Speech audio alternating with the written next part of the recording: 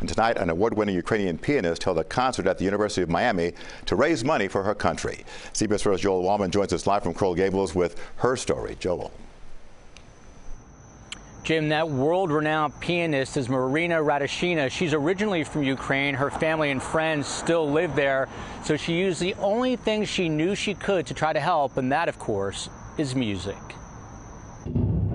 A world away from the searing, disjointed sights and sounds of war, the mellifluous, soothing sound of classical music fills the University of Miami.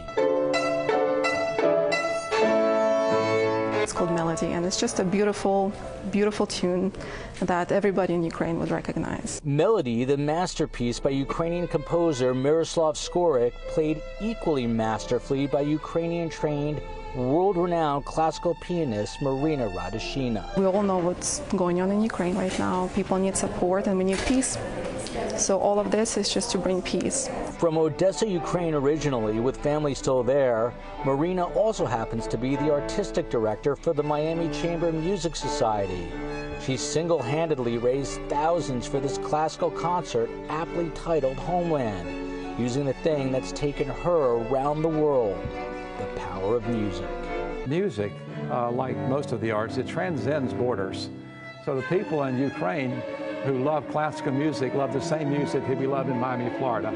So, you know, it's something, it's a common language.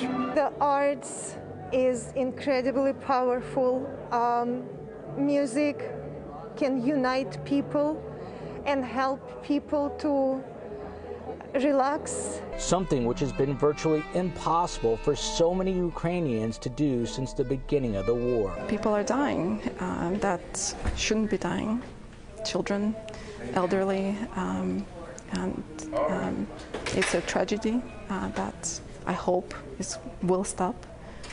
Um, Struggling to find the right words, Marina instead using the sweeping movement of her hands to find just the right sentiment. We all have hope, and we are really hoping that negotiations would bring fruit.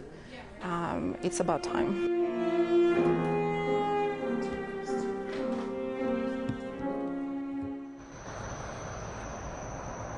That music is beautiful and soothing. Now, Marina estimates they raised about $8,000 to help Ukraine at tonight's concert. If you'd like to help, you can go to cbsmiami.com, click on a link to this story, and you'll find all the details. Reporting live from Coral Gables, Joel Waldman, CBS 4 News.